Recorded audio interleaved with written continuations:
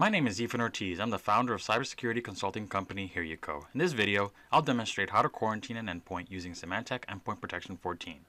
To leverage this capability in SEP 14, I first need to configure the SEP 14 manager to support this through the host integrity feature.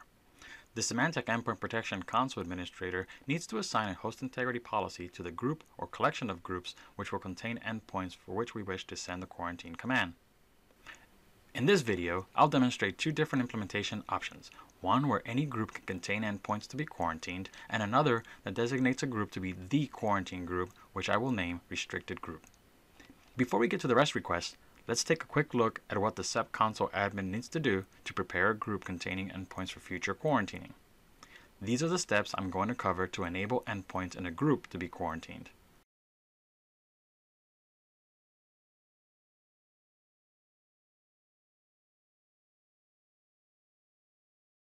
Let's start at the SEP Management Console. First, I choose the group I want to apply policies to. I verify that I'm in the Policies tab. I click Add Policy to add a host integrity policy.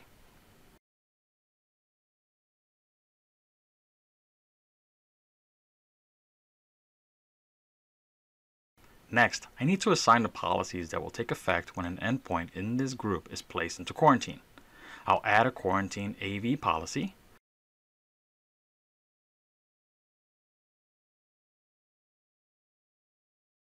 I'll add a quarantine firewall policy, which is set to restrict access to most resources on the network. And finally, I add an application and device control policy to restrict local file registry and USB device access.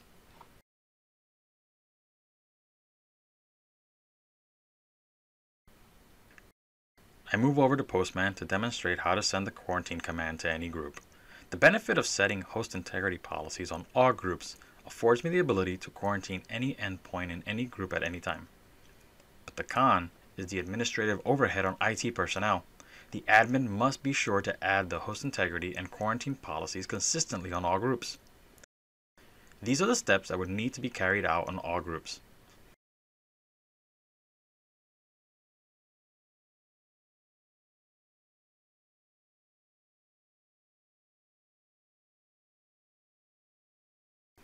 I'll send the authenticate request to obtain my token for this video session. Please see the prior video on authenticating to SEP Manager for details. The token is now set in the Postman SEP 14 environment variables. To quarantine the endpoint, I send the place endpoint into quarantine containment request to the SEP Manager, which will hold the command in queue until the endpoint checks in. The resulting command ID response is placed in the Postman environment for use in the next command. I want to check the status of the command by sending the get status on previous command request.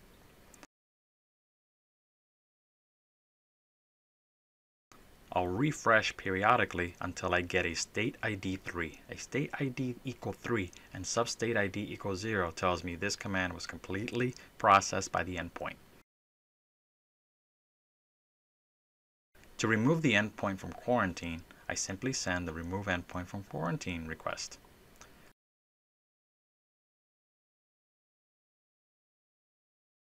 I confirm that the command was successfully received and executed by checking that I receive a state ID equals 3.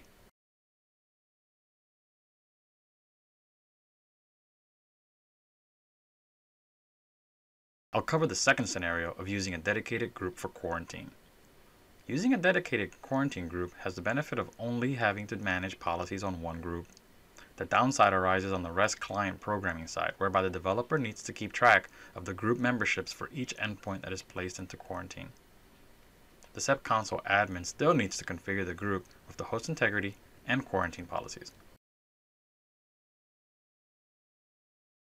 Let me go over what I'm about to show. First, I'll retrieve the current group ID and hardware key for the endpoint I want to quarantine. Next, I'll record the restricted group ID for when I move the endpoint into the quarantine specific group. I will then move the endpoint into the restricted group. I'll send the usual place endpoint into quarantine containment request. I'll send the get status on the command to check for the state ID equal 3.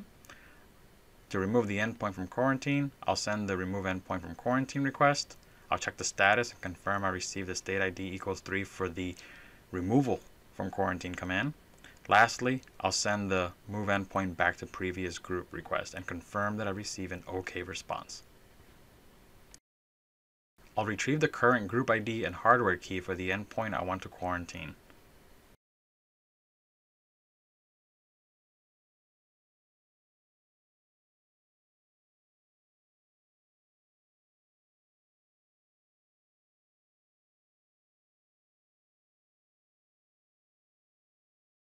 Next, I'll record the restricted group ID for when I move the endpoint into the quarantine specific group.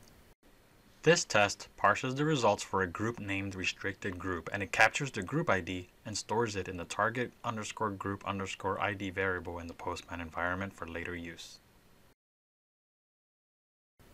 I will then move the endpoint into the restricted group.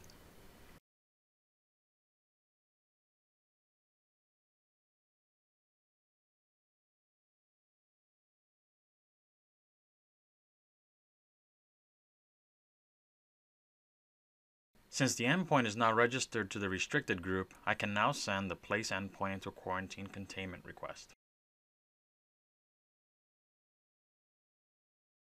I'll send the get status on the command to check for the state ID equal 3.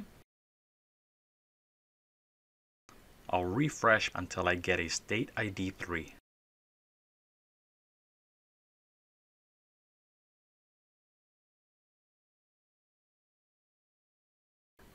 To remove the endpoint from quarantine, I'll send the remove endpoint from quarantine request. I'll check the status and confirm I received the state ID equals 3 for the removal from quarantine command.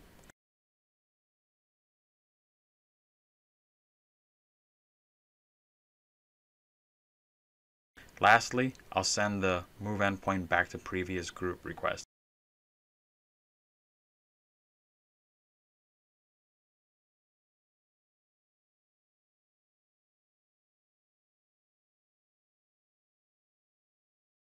And confirm that I receive an OK response. In review, I covered how to prepare your groups to enable quarantine capabilities via the SEP14 Management Console, I covered how to quarantine endpoints in any group, and I covered the multi-step process to quarantine an endpoint in a dedicated quarantine group. If you liked it, like it. Of course, HereUco is available to help you with innovative cybersecurity advisory services for corporate and personal digital defense.